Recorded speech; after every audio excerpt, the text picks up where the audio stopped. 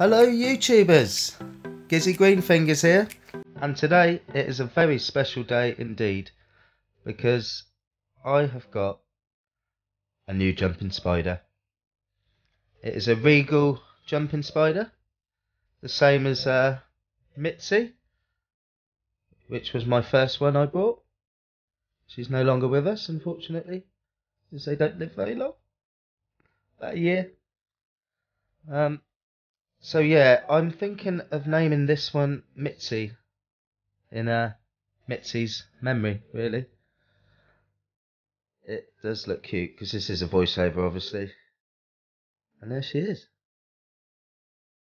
I got her from. oh, I can't remember where I got her from. Alright, just looked at the box. I got her from Jumping Spiders Web.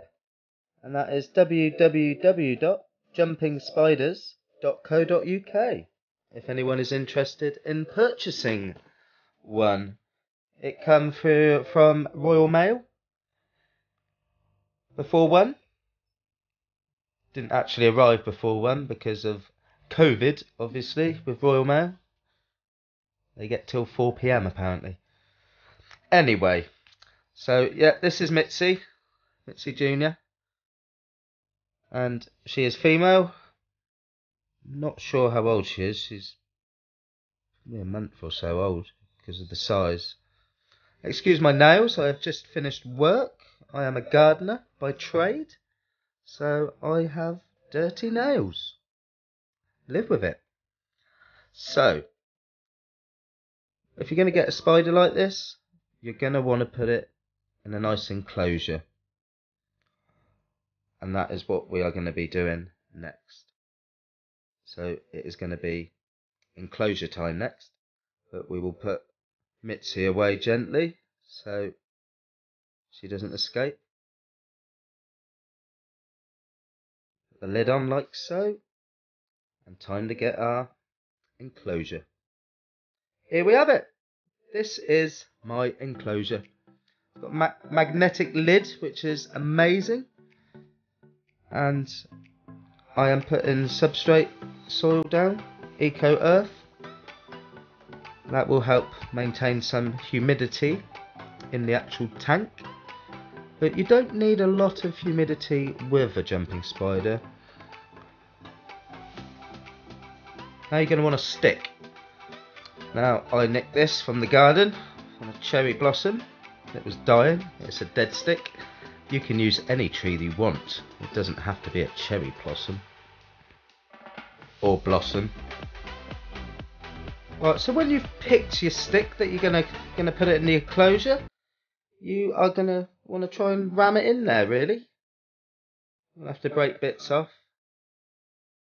You'll probably move it from one bit of the tank to the other because you're not happy, not quite happy where it is. Finally, rammed it in there, like so. I'm sure Mitzy's going to be extremely happy with that. Just check that in. Yeah. Ta-da! Right, now we'll get Mitzy. And we're going to try and get her out gently, without crushing her. Yeah, the old tappy tappy ain't going to be worky worky.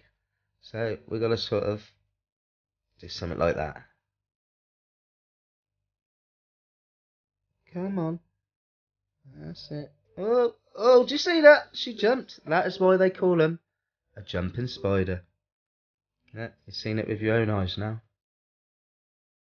Right, let's get that lid on pretty sharpish before she jumps out of her enclosure.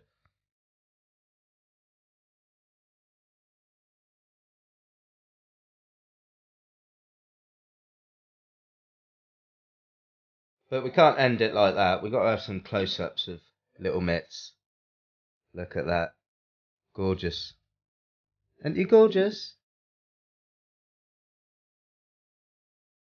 She knows she's gorgeous. Are you hungry? Wants, wants to feed you? Oh, you you upset? Oh, she's upset. She's hungry. Alright, we better get her something to eat. Want something to eat? Now she's been fed on blue bottle flies. Um, I've never bought those as a food, personally. I prefer crickets. Um, but yeah, I put a cricket in there, but she's not very tempted by it. She had a look, she had a look. But then I got a leg fly. Yeah, what's a leg fly, I hear you ask? Well, a leg fly is when a fly lands on your leg and it pisses you off so much. You catch it, and you catch it alive. And that's what I did.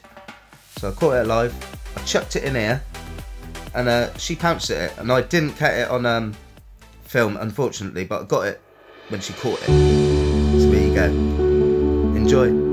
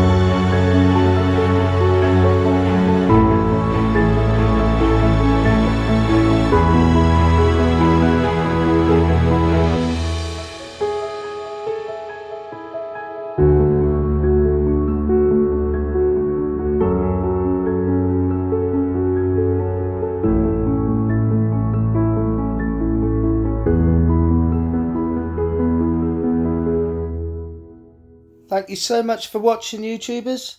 Don't forget to hit that like button and maybe the subscribe button as well. I do hope you've enjoyed. Take care. Gizzy Greenfingers. Ta-da.